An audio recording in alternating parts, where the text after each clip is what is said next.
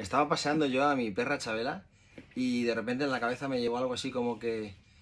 Me voy, me voy, no quiero odiarte. Dije, esto mola, grabadora del iPhone y ahí quedó. Regresando de vacaciones al estudio, le digo, Angelito, tenemos un hit.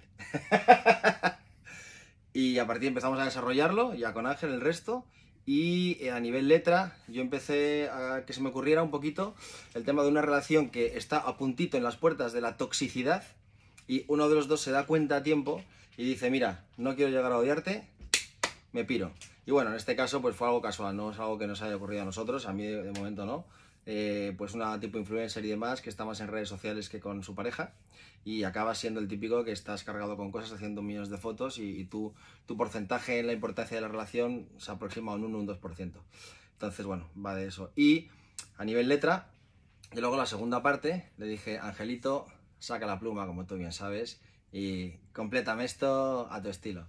Y bueno, es lo, la parte de tu letra, ¿no? Sí, la segunda parte pues simplemente es continuar un poco la, la historia que ya estaba, ya estaba escrita.